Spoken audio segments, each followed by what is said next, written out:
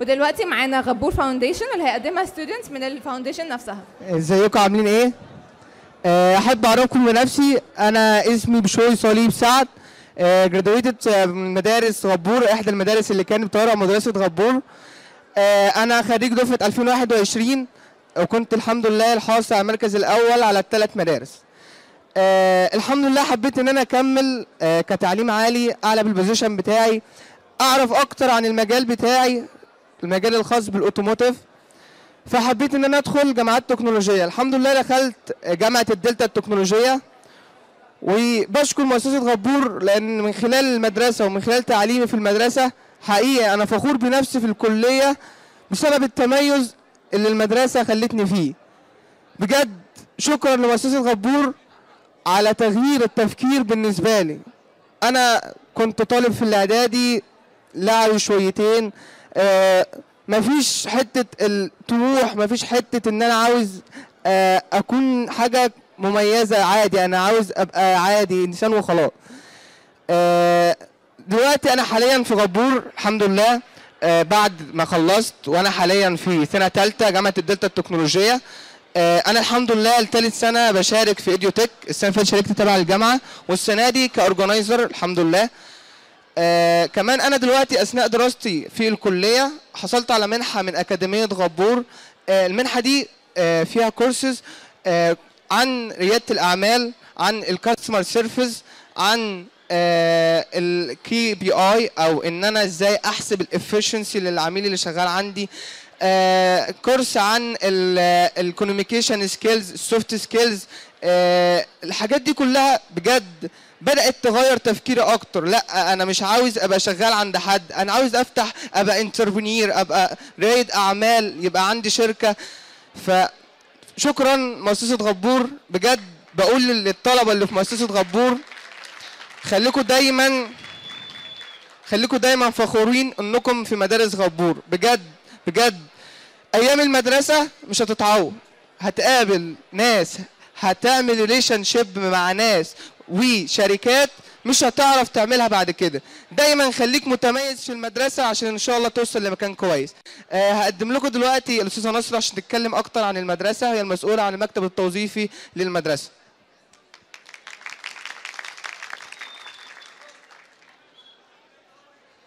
مساء الخير. إزيكم؟ عاملين إيه؟ أنا مبسوطة قوي إن أنا معاكم النهارده. آه أنا نصرة زكي مسؤولة قسم الدعم التوظيفي في مؤسسة غبور. آه كنت حابة أكلمكم. إحنا بنقدم إيه للولاد بعد ما تتخرج لأن إحنا ولادنا مش بنسيبهم حتى بعد ما يتخرجوا من المدرسة ومعاهم step by step أنا بقدم لهم بن بنوفر لهم فرص شغل مش بس في غبور في ال automotive sector كله. وعندنا ولاد اشتغلوا في أماكن كبيرة جدا من أصغر مكان لأكبر مكان. عندنا ولاد شغالين في منصور وجاجوار ونيسان وبي إم مرسيدس. بنفضل مع الولاد لحد ما نطمن عليهم إن هم بيشتغلوا ومبسوطين كمان في شغلهم. وطبعا زي ما أنتم عارفين إحنا عندنا أقسام كتير في المدرسة. عندنا نقل تقيل ونقل خفيف وسمكرة ودهان وسيارات كهرباء.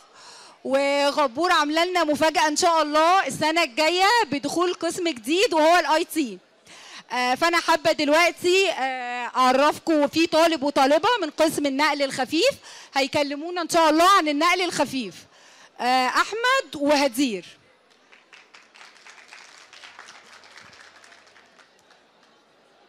إزيكم؟ النهارده أنا معاكم. أنا الطالب أحمد محمد زعفراني من مدرسة غبور في ال applied technology أنا النهارده جاي اكلمكم عن التخصص بتاعي بشكل عام وهو تخصص الميكاترونكس. ميكاترونكس أصلا كلمة أساسها حاجتين اللي هي البداية mecha اللي هي الميكانيكا وال tronics اللي هي الإلكترونيات بشكل عام. أنا النهارده جاي أقول لكم إن أنا في مدرستي بتعلم كل حاجة تخص العربية كل الأنظمة وكل حاجة. من أول الموتور بتاع العربية ونقل الحركة في الفتيس أو الاجزاء الثانية بتاعتها والأنظمة الكهربائية بشكل عام. بشكل عام يعني مدرستي وفرت لي حاجات كتيرة جدا. من اهمها المهندسين. المهندسين عندنا أو اللي هم بنسميهم المدربين على أعلى مستوى بحيث إن هم يقدروا يوفروا لي آه المناهج المثالية أو الكويسة اللي هي تقدر تواكب العصر اللي بره. زي ما إحنا كلنا عارفين أكيد آه العربيات بتتطور يوم عن يوم وكل يوم حاجات جديدة بتزيد فلازم نكون مواكبين للموضوع ده. حتى لو انت مش مواكب ليها بنسبة 100% بس على الأقل قوي بتاخد البيزكس الكاملة اللي تقدر تديني بعد كده الإمكانية إن أنا مجرد ما أتخرج من المدرسة إن أنا أطور من نفسي بمنتهى السهولة. وأكيد المؤسسة مش بتسيبك بعد ما تخلص وبتفضل معاك أول بأول. آه وطبعا عشان المهندسين يقدروا يدربوك على أعلى مستوى لازم نوفر لك آه، ورش كويسة جدا وفيها أعلى الحاجات طبعا. وفيها عربيات على أعلى مستوى والعربيات بتبقى أعلى فئات عشان يبقى فيها كل الإمكانيات وكل الحاجات المتطورة اللي موجودة بحيث تتدرب عليها. آه موجود في العر... موجود في المكان عندنا في الورش عندنا أحسن العدد وأحدث العدد طبعا بتبقى لسه ما نزلتش في التوكيلات أو اللي موجودة بالفعل في التوكيلات ولسه موجودة بشكل جديد.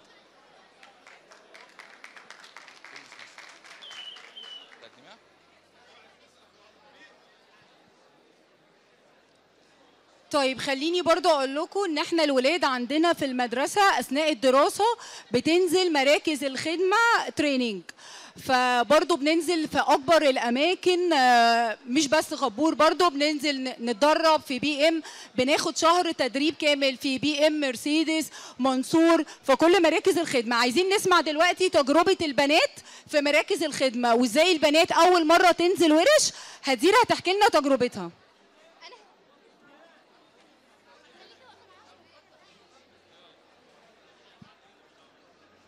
أنا هدير رضا أنا في الأول كنت مترددة جدا من ناحية إن أنا أدخل مجال جديد زي ده. إيه اللي هيخليني أدخل مكان جديد زي ده؟ واللي هو هيبقى عندي مشكلتين. أول مشكلة هتبقى مشكلة فكرة المجتمع ناحية البنت. إيه اللي هيخلي بنت إن هي تنزل وتشتغل في ورشة زي كده؟ أغلبية المجتمع دلوقتي فاكر إن البنت هتنزل تحت في الورشة وهتشتغل اللي هو لا تنزل تحت عربية لا بالعكس إحنا دلوقتي متوفرة لنا special tools بحيث إن إحنا ما نبذلش جهد عالي ولا إن إحنا ننزل تحت عربيات وده مش هينفع. بالعكس إحنا دلوقتي عندنا special tools متطورة جدا دخلت مصر جديد. فكان تجربة كويسة جدا بالنسبة لي إن أنا كبنت ف... وأنا فخورة جدا إن أنا دخلت غبور لأن أنا دي أول دفعة تخرج بنات من أو اول مدرسة تخرج بنات من غبور. غبور مش هدفها إن هي تخرج عمالة عادية. غبور هدفها إن هي تخرج عمالة متدربة بحيث إن هي تعرف تشتغل مع ال tools اللي نازلة مصر جديد وال- وال special اللي نازلة مصر جديد علشان ما في أغلبية الصناعية اللي موجودين تحت لأ مش عارفين أغلبية ال tools اللي موجودة. إحنا بنتدرب على ده كله. بننزل شهر تدريبات في التوكيلات أحسن تدريبات توكيلات غبور. بننزل فيها ونتدرب. بنعرف كل حاجة عن غبور بنعرف كل حاجة عن العربية. العربيات أنا كنت فاكرة إن شغلها صع- صعبة ومحتاجة جهد ولأ بالعكس. أنت ممكن إن أنت أنت كبنت بالذات تثبتي وجودك في المجال ده لأن إحنا قليلين قوي. وشكرا بس أنا حبيت إن أنا أعرفكم عن تجربتي في غبور وده كان كل حاجة.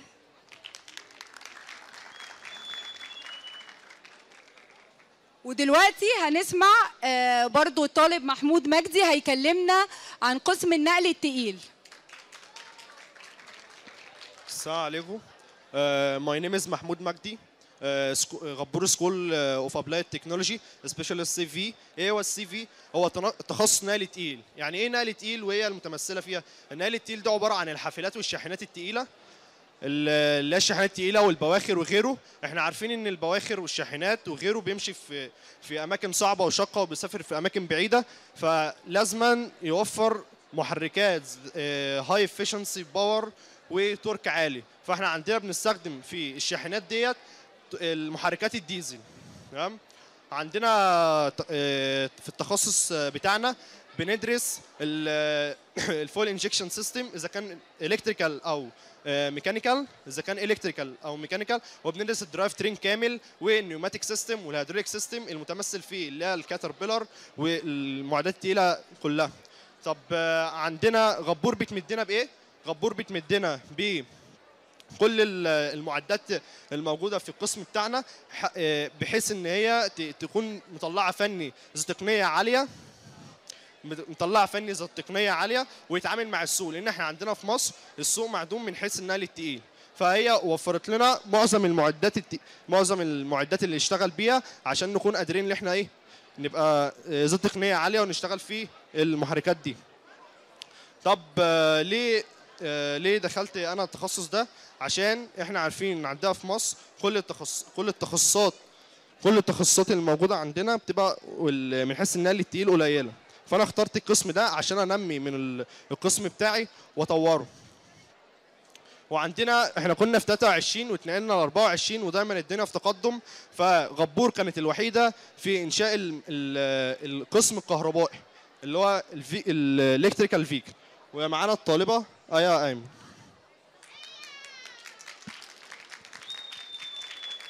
أهلا وسهلا. أنا مبسوطة جدا بتكلم مع حضراتكم النهارده. أنا الطالبة آية أيمن تخصص electrical vehicle أنا الأول عايزة أعرفكم أنا ليه اخترت أصلا التخصص؟ تخصص ال electrical vehicle هو تخصص جديد. إحنا المدرسة الوحيدة اللي عملنا التخصص ده. طبعا كلنا عارفين إن المستقبل هو العربيات الكهرباء. والعربيات الكهرباء مش عايزة شغل إيد وأنا أفضل آه، أضرب في الحاجة وأعمل الحاجة بقوة عشان أصلحها. أنا مفروض أنا بفكر العربية بتجيلي بعطل أنا بفكر إزاي هصلحها إزاي هعرف العطل ده منين؟ وليه أصلا إحنا عملنا عربيات كهرباء طول ما في عربيات بنزين؟ عربيات الكهرباء اولا بتبقى أعلى كفاءة عن عربيات البنزين وعربيات البنزين بيبقى فيها خسائر كتير جدا لل power بتاعها. وبيبقى عربيات الكهرباء بتقلل ال noise بتاع العربيات البنزين العادية. وعربيات الكهرباء هي من أكتر العربيات ال smart اللي مصر عملتها والموجودة أصلا في العالم كله عشان هي عبارة عن موبايل في جيبك. أنت ممكن تتحكم في العربيات الكهرباء دي من بيتك تشغلها تطفيها تعمل اللي أنت عايزه فيها طول ما أنت موجود في بيتك وده بيريح العميل جداً. إيه أصلا ال- المستقبل للناس اللي دخلت قسم عربيات كهرباء اولا إحنا أول دفعة دخلنا عربيات كهرباء وده هيدينا فرص عمل كتير وإحنا هنبقى أكتر ناس مميزين عشان إحنا أول ناس نعرف إيه العربيات الكهرباء دي وندرسها. وأنا متشكرة جدا أنا اتكلمت معاكم وأكتر التخصصات آه، اللي إحنا فخورين بيها في مدرستنا هو تخصص سمكرة ودهان وأحب آه، زميلي هيعرفكم عن قسم سمكرة آه، طالب يوسف أحمد.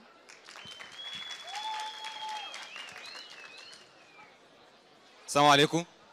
أحب أعرفكم بنفسي أنا يوسف أحمد صلاح طالب مدرسة غبور واحد للتكنولوجيا التطبيقيه تخصص سمكرة.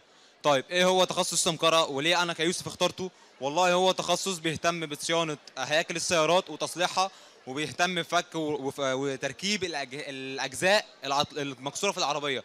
في أجزاء ممكن تتصلح وأجزاء ما بتتصلحش. طبعا إحنا بالنسبة لنا القسم مطلوب بشكل كبير جدا في السوق وفي نفس الوقت بيحتاج عمالة فنية مدربة على كواليتي عالي قوي بحيث إن أنت تكون قادر إنك تشتغل في التخصص ده. لأن هو مش مجرد فك وركب ولا دق وصلح وخلاص. طبعا الناس كانت بتتخوف من القسم في الأول عشان كانت فاكرة إن القسم بتاعنا مجرد ورش وبس. لا القسم عندنا اتطور بشكل كبير جدا بقى مطلوب في التوكيلات. التوكيلات بقت تشتغل بيه بأجهزة وعدد متطورة جدا. أنا نفسي نزلت التوكيلات اشتغلت بيها الصراحة من أحسن التخصصات اللي ممكن تختارها. والصراحة أنا بالنسبة لي ما أقدرش أختار بديل عن التخصص ده لأن أنا الصراحة شايف نفسي في التخصص ده والسكيلز بتاعتي ماشية معاه كويس. وطبعا بجانب مكتب التوظيف بتاعنا اللي مش سايبنا خالص في وقت. في وقت التدريبات بينزلنا وطبعا موفر لنا فرص شغل كويسة جدا بعد الدراسة. شكرا. عندنا طبعا قسم الدهان مع مصطفى هيبتدي يحكي لكم إيه هو قسم الدهان. اتفضل. إزيكم؟ أنا مصطفى عبده طالب في مدرسة غبور للتكنولوجيا التطبيقية. أنا في سيكشن دهان. آه، زمان كانت وجهة النظر عن فن الدهان إن هو حد بياخد حرفة من الشارع بس. مجرد آه، حد نزل اتدرب في ورشة خد خبرة بقى صنايعي. آه، غبور غيرت المنظور دوت جدا. إحنا دلوقتي في مدرسة غبور بقينا بنتعامل بأدوات أفضل. special tools مش موجودة غير عندنا أو مش في غبور تحديدا في كذا مدرسة. بس إحنا بنحاول نطلع technical خبير. بنحاول نطلع تكنيكال متعلم مش بس آه، مش بس حد خد الصنعة وخلاص لا هو حد متكامل من كل حاجة. آه، عنده اللغة عنده الخبرة عنده الصنعة آه، عنده الصنعة بالطرق الحديثة. فإحنا الدفعه أول دفعة في غبور إحنا السنة دي أول دفعة هتتخرج. هنبقى الفني المتعلم المتكامل المتطور. وكمان إحنا في غبور في مشروع دلوقتي آه، بنستخدم ورش صديقة للبيئة. يعني الدهان ما بيبقاش بزيت بيبقى بمية. فالريحة بتبقى أفضل بكتير جدا. ما بتأثرش وما بتتعبش الرئة زي ما كان زمان موجود ومتعارف عليه في العالم كله. شكرا.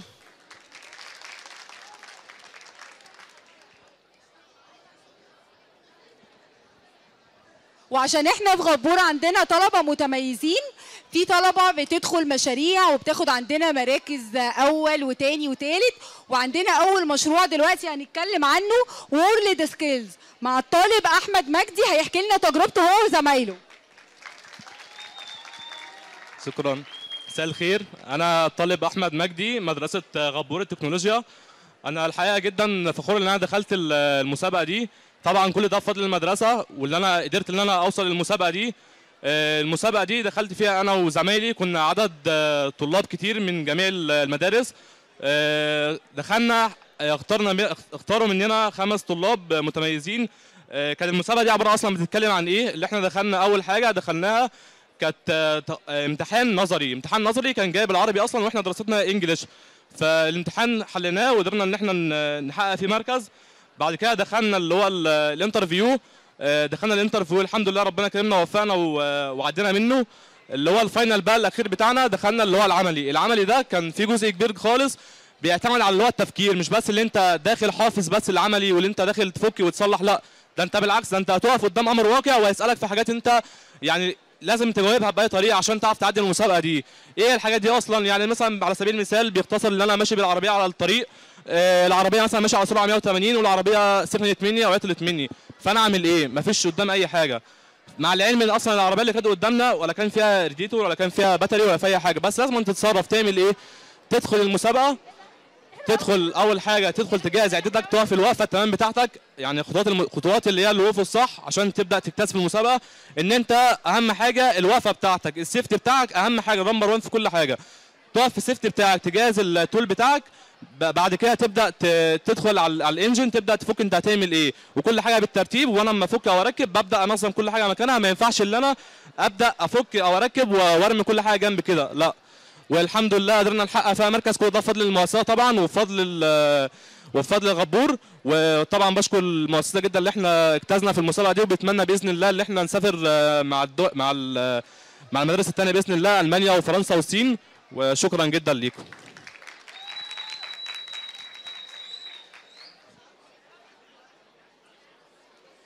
طيب أحمد مش بس هو وزمايله اللي عملوا مشروع وأخدوا مركز لا إحنا معانا كمان عمر حمدي أخد المركز الثاني في مشروع تحت أمرك وهيحكي لنا عن المشروع دلوقتي.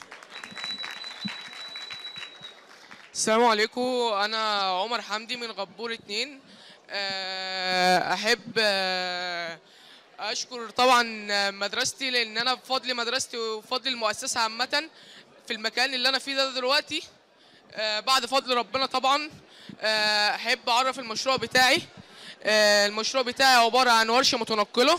آه، الورشة المتنقلة دي يعني في منا هنا آه، ناس بتتعرض لمشكلة إن عربيته بتتعطل إن عربيته بتتعطل آه، في الطريق. فبالتالي بيحتاج إن هو يكلم ونش عشان يجي يشيل له العربية ويوديها له لأي ميكانيكي.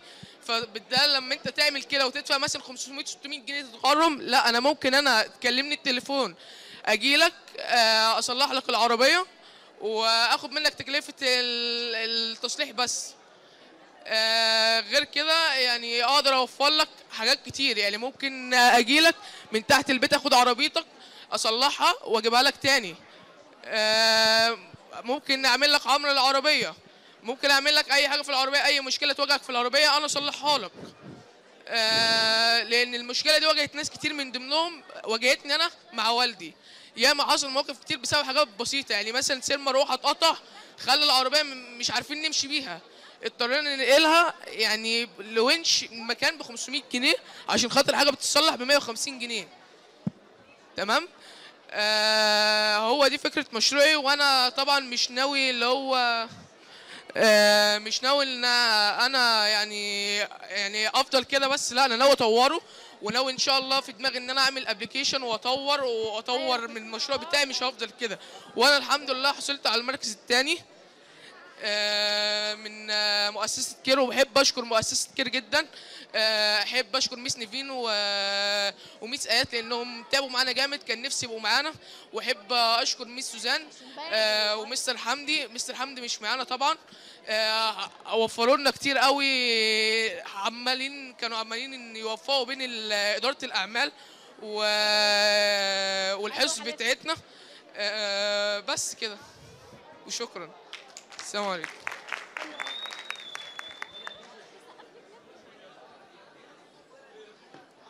ومعانا دلوقتي مشروع تاني هو مشروع استيفيا. معانا الطالب زياد محمد ودعاء فايز وحصلوا على المركز الرابع وهيحكوا لنا برضو عن المشروع بتاعهم. مساء الخير. أنا دعاء فايز مدرسة غبور التكنولوجيا التطبيقية. إحنا دخل المدرسة وفرت لنا آه، course ريادة أعمال مع مع مؤس- مع مؤسسة كير. آه، دخلنا المسابقة وأخدنا فيها المركز الرابع المشروع بتاعنا آه، عن الاستيفيا آه، مساء الخير أنا اسمي زياد محمد مدرسة غبور اتنين للتكنولوجيا التطبيقية. أحب قبل ما أبدأ بس أسأل حد يعرف نبات الاستيفيا؟ سؤال للجميع. سؤال للجميع حد يعرف نبات الاستيفيا؟ زياد بيسأل حد يعرف إيه هو نبات الاستيفيا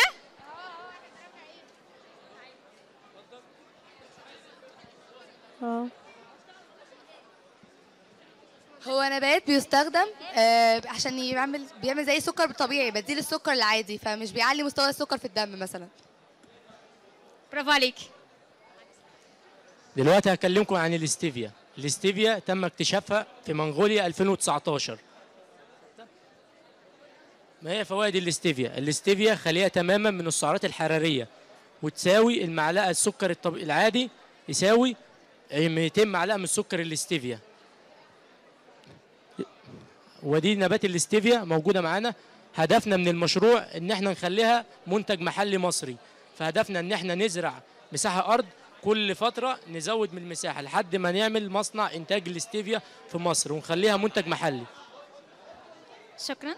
آه زياد كان بيقول إن إحنا هدفنا إن إحنا نخلي الاستيفيا منتج محلي مصري.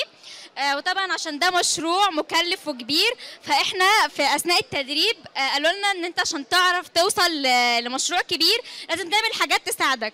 فإحنا آه قررنا إن إحنا نستغل الاستيفيا بكل فوائده. فالحاجه اللي إحنا نقدر نستغل بقى الاستيفيا حاليا هي إن إحنا هنعمل منتجات صحية. من نبات الاستيفيا آه، تناسب الفئات شبه الرياضيين ومرضى السكري والناس. آه، الدكاترة أصلا يعني لما تروح عند دكتور عشان diet أو كده بينصحك بسكر الاستيفيا. فالمشروع بتاعنا إن إحنا نعمل منتجات صحية هنستخدم فيها سكر الاستيفيا ونستبدل بعض المكونات زي مثلا نستبدل الدقيق الأبيض بمادة الجلوتين هنستبدل آه، الدهون مثلا بزيت فول سوداني أو زيت عباد شمس. فده المنتج فده المشروع الفكرة الثانية بتاعت مشروعنا إن إحنا نعمل منتجات صحية من نبات الاستيفيا وأخدنا المركز الرابع وإن شاء الله يكون الاستيفيا بال brand بتاعنا منتج محلي في المستقبل. شكرا.